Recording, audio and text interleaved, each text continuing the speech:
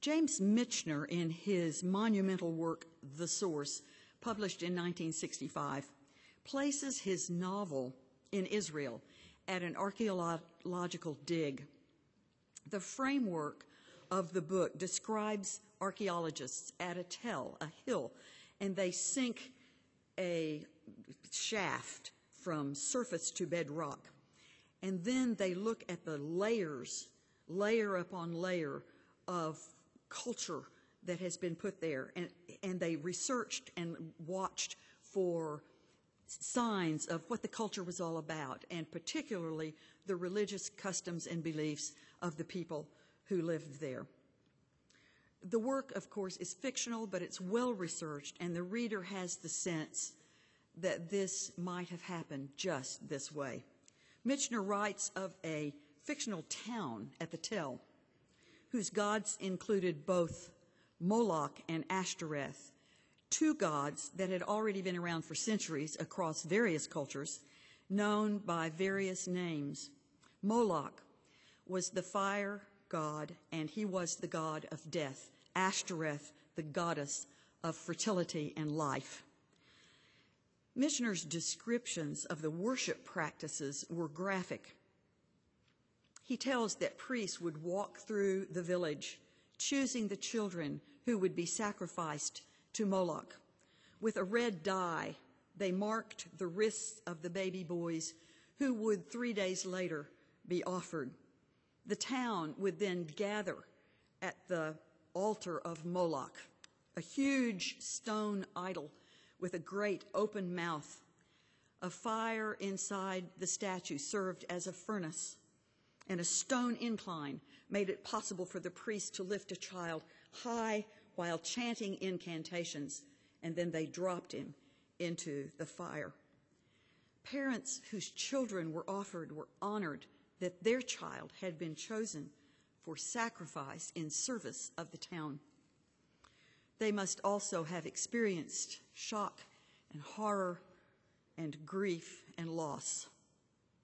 The second half of the worship included fertility rites to ensure good harvest and prosperity for the community, a visible cycle of death and life.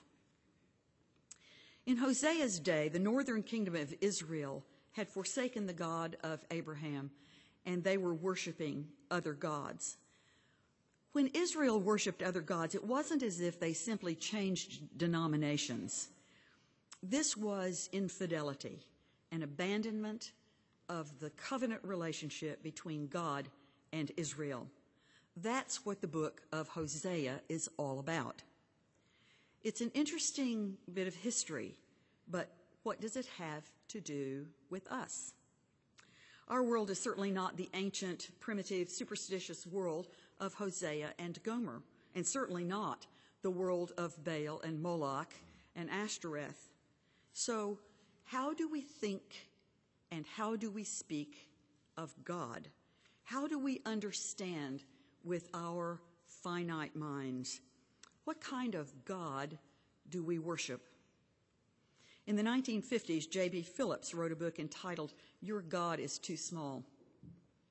His contention was that because God is infinite and far beyond our understanding, we try to reduce God to something we can manage, something that we can control. I have sat across the room listening for lo these many years in counseling sessions. One of the things that I listen for is a person's concept of God. Sometimes I will ask questions originally formulated by James Fowler, uh, the guru of faith development. These are some of his questions. To what do you give your highest allegiance? What is of ultimate concern? Where do you spend your time, your energy, your resources? What is your greatest joy? In what or whom do you place your deepest trust? In what or whom is your most exuberant hope?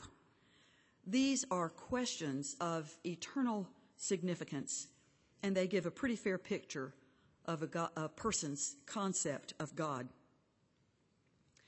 For some people, God is the great Santa Claus in the sky. You may have heard TV preachers preaching prosperity theology.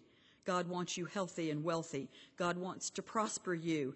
What do you mo- most want? Name it and claim it. It is yours straight from God's hand. Usually, the way we can get those blessings is by sending money to the TV preacher. He may or may not guarantee results. I remember years ago, Tammy Faye standing at the, in front of the cameras with her thick makeup and her big hair. And she was saying something like this God has just blessed me so good. I never knew what I wanted more a big house with an ocean view or a big house with a swimming pool, and now I have both. As it turned out, she also had an air conditioned doghouse and gold plated fixtures in her many bathrooms. I don't mean to pick on Tammy Faye. She was told and she believed that she was just so like spiritual, that God just like wanted to bless her real good. Wow, where do I sign up? Just think, all I have to do is send my money to TV preachers, and my life is going to be a bowl of cherries from here on out. But God, as Santa Claus, doesn't square with my life experience. Some people see God as the great punishing parent. They live under the dictum that God's going to get you. They live cowering under fear and dread of God's wrath. Step out of line, they say, and you'll get zapped. Nothing good ever happens to these people, and when the bad things happen, they are attributed to a vicious, vindictive, avenging God who obviously takes pleasure in seeing people suffer. Some people live their whole lives without ever having received parental approval, and it forever colors their concept of God. Some people see God as the great negotiator, sort of quid pro quo. What goes around comes around. It goes something like this. If I'm very good, if I go to church, give my money, don't cuss, drink, carouse, or chew, God will be pleased and will reward me, like getting smiley face stickers on your good behavior chart. Then nothing bad will ever happen to me. But inevitably, something bad does happen, and then we are left with the sense that either we didn't have faith enough or God didn't hold up his end of the bargain. And what kind of a God is that?